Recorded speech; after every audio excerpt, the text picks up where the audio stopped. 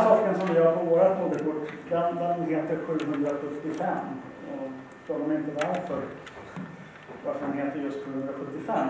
Men det viktiga är att det är en 775-sockel som passar till vår processor.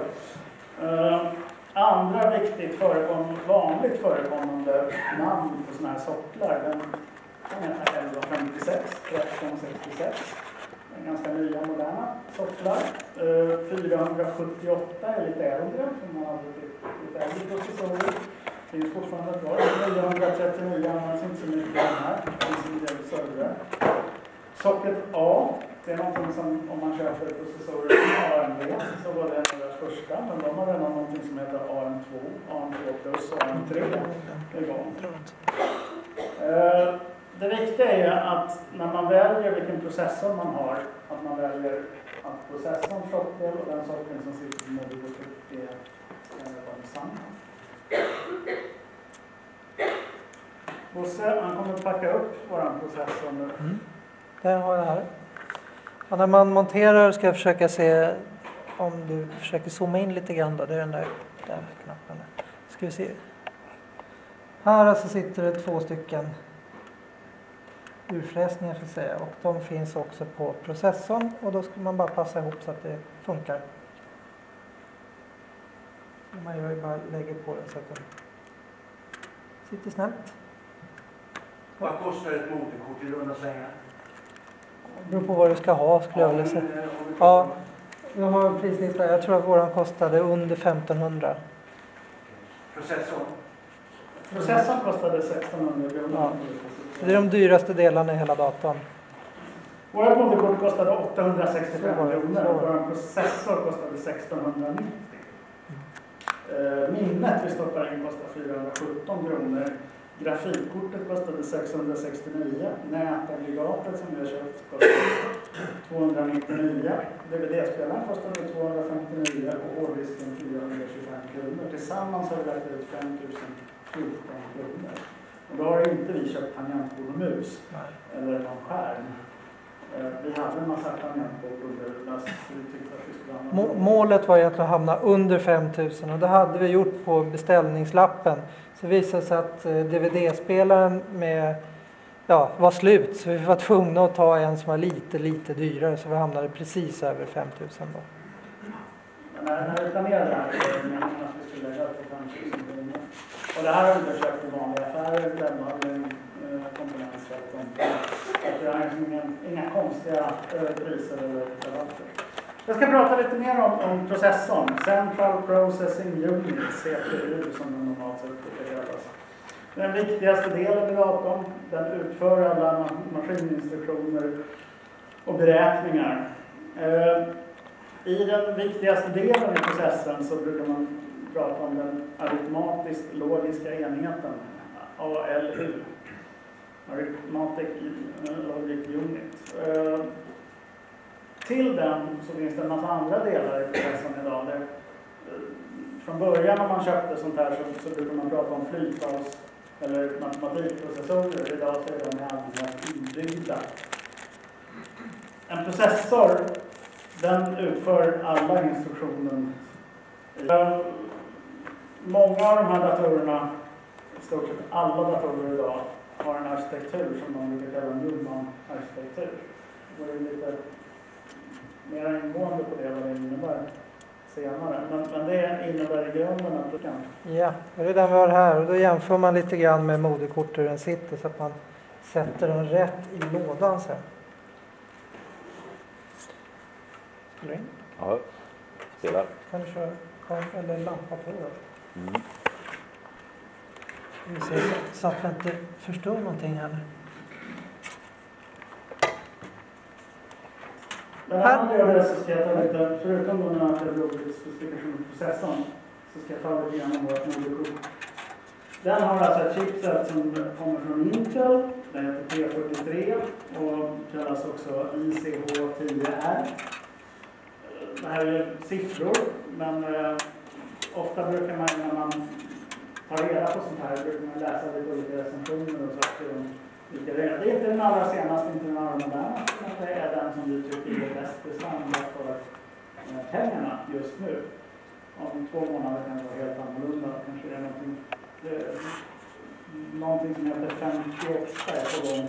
T58 är väldigt populärt på just nu, men det är mycket dyrare att köpa. Den stödjer då eh, busshastigheter upp till eh, 1333 MHz som vi pratade om förut. Och den kan överklockas ända upp till 1600 MHz. Den har fyra platser för minne. Den klarar inne i samma hastighet som busshastigheten. Den har en PCI Express 1600 och den har två stycken PCI Express en gång och den har tre stycken vanliga PCI-platser. Den eh, har sex stycken SATA-portar för hårddiskar. Och den har en extern SATA som man kan koppla in en hårddisk via SATA utanför hårddisket. Den har ett eh, nätverkskort inbyggt på sig som eh, stödjer en gigabyte LAN. Den har en inbyggd, eh, inbyggd ljudkort för åtta kanaler ljud med eh, S och PDIF eh, support. Den har 12 stycken eh, USB-portar inbyggt på moderkortet.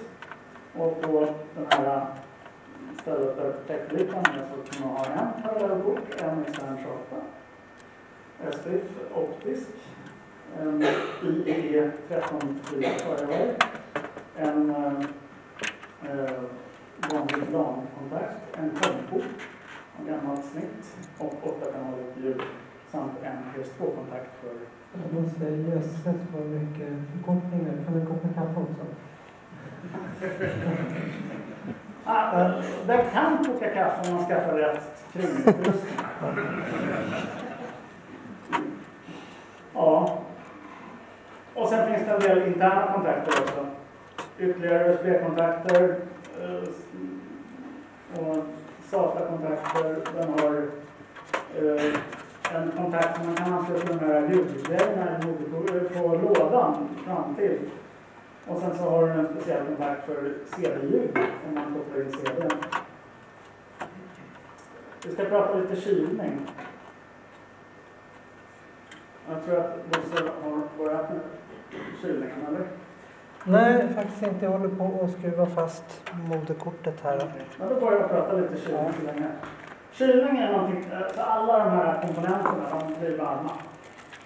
Och för att de inte ska gå sönder så måste man kyla dem lite grann. Och de vanligaste sätten, om man väldigt kraftfulla datorer, skulle det behövas extra kylning för att få det att fungera.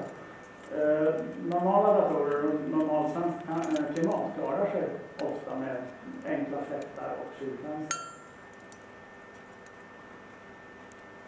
Nu ligger vi lite efter i tidsschemat. Kör, kör på du. Jag kan bygga under tiden du pratar. Vad vad- vad gör det här programmet som inte kör utan? Så vad gör Alltså, i magnetfläktar, de har ju bra kylning på sina. Alltså, eh, vissa iMac, sådana här powerbook och sådär, eh, de har passiv kylning med kylfönster. Bara det att då har man byggt ihop då metallen i lådan med kylfönster. Eh, Vad ä- även där skulle man ha lasta upp dem väldigt hårt i klockfrekvens eller någonting sånt så, så skulle man kunna få för hög värmeutveckling som skulle kunna skapa datorn. Eh, om man vill bygga extremt tysta datorer kan man välja väldigt strömsnåla komponenter som inte är så mycket värme. De är lite dyrare eller lite långsammare.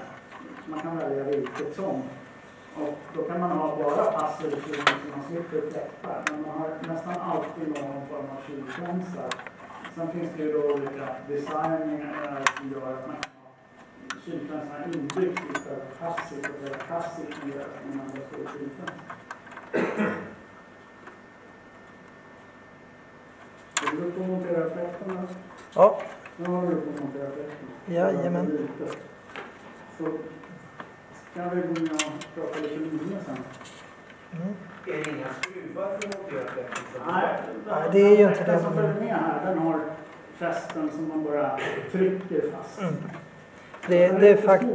ja. att trycka fast den första gången för att eh, den här kylpastan som sitter på den gör att det kommer någon mikrometer för högt